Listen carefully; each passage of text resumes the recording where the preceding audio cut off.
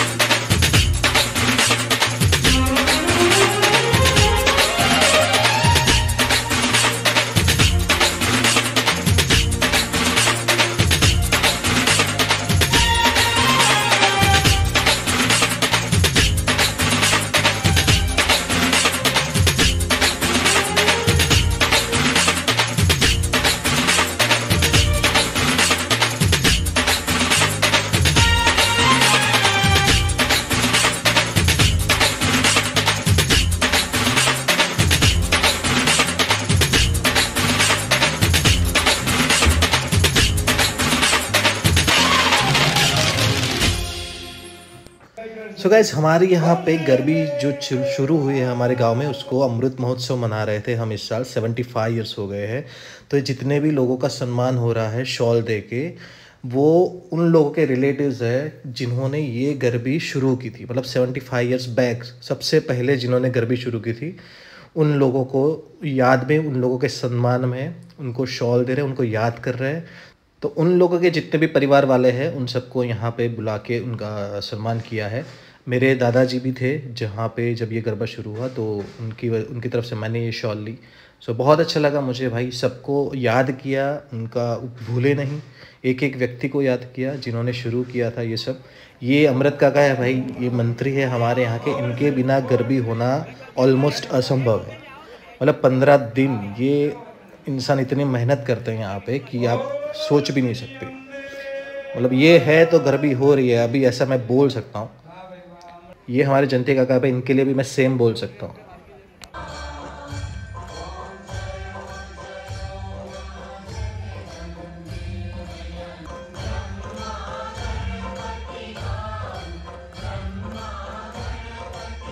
आरती हो चुकी भाई, सब लोग प्रसाद ले रहे हैं, दूध पोहे का प्रसाद होता है भाई, आज शरद पूर्णिमा में।